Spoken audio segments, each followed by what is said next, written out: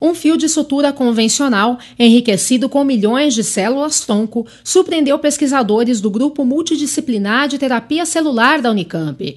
Testada em ferimentos intestinais, a tecnologia reduziu significativamente o tempo de cicatrização se comparada às suturas comuns ou apenas à injeção direta de células na ferida, conforme já desenvolvido por um grupo europeu. Nós tivemos uma queda dessa fístula da ferida três vezes mais rápida logo no terceiro a quarto dia de cicatrização, enquanto o grupo espanhol conseguiu somente esses resultados por volta do 21 primeiro dia.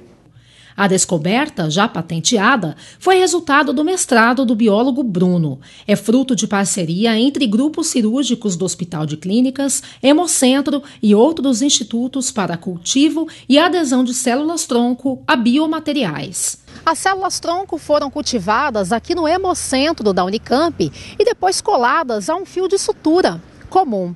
Na verdade, a utilização desse fio enriquecido com as células é a inovação da pesquisa, que após ser desenvolvida em cobaias, agora vai ser testada para o tratamento humano.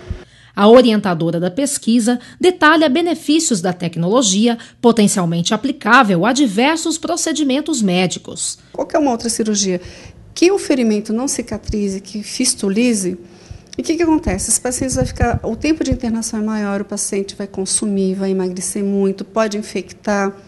Né? Aí a infecção piora o prognóstico do paciente, ele vai levar pelo menos de 8 a 10 semanas para resolver o processo e às vezes até um tempo maior. Se a gente conseguir usar esse fio enriquecido com células, que a gente já viu no animal que dá certo, que reduza para 21 dias ou 10 dias, a gente precisa fazer isso em um ano agora. Mas assim, o impacto na vida da pessoa é sair do hospital mais cedo, não ter infecção não espoliar, né? o paciente não vai perder íons, não, vai uh, consumir do jeito que todo processo infeccioso consome a gente quando a gente tem. O, todo o procedimento foi muito bem uh, normatizado, então a gente usou sempre a mesma quantidade de célula, a mesma passagem das células mesenquimais, então todo esse rigor a gente teve. Né?